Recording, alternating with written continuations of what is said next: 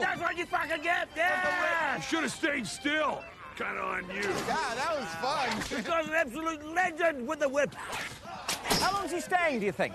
Oh, fuck, I don't know. I mean, we, you know, we're keeping it open-ended. You, you can't put a fucking time limit on fun, mate. Jack, whip the ball! Whip the ball!